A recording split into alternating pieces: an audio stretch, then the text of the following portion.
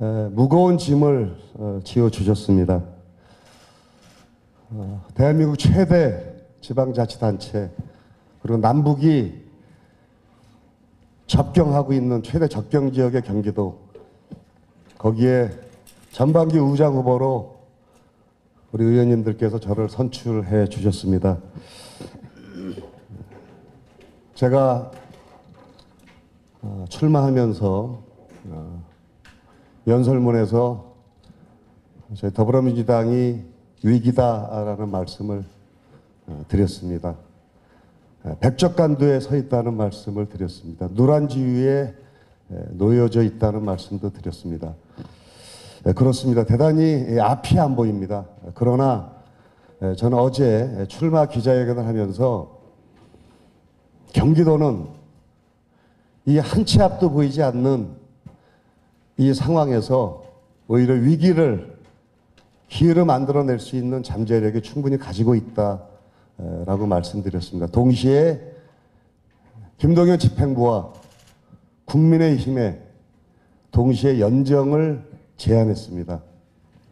물론 연정은 우리 더불어민주당의 대표단과 국민의힘의 대표단이 끌어가는 것입니다. 만들어가는 것입니다. 그 중재자가 어, 되겠다고 어, 말씀드렸습니다. 그렇게 하겠습니다. 에, 그리고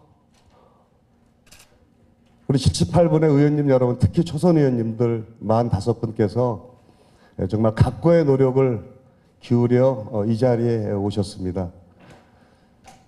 그런데 이렇게 당내 선거로 어, 대단히 또 어, 분주한 나날을 보내셨습니다. 그러나 아, 이것이 우리 더불어민주당이 예, 민주적 절차에 의한 정통성을 부여받는 아, 그런 의장단과 대표단을 선출하는 절차였기에 예, 인내해 주셨습니다.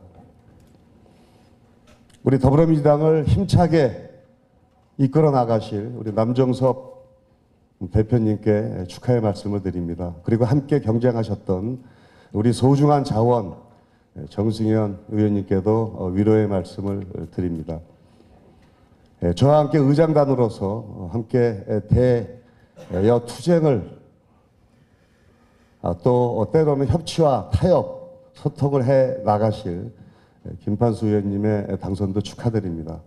그리고 함께 경쟁하셨던 이은주 의원님과 아, 정인경 의원님께도 어, 심심한 위로의 말씀을 에, 드립니다. 그렇습니다. 저희는 이제 에, 원팀이 됐습니다. 똘똘 뭉쳐야 합니다.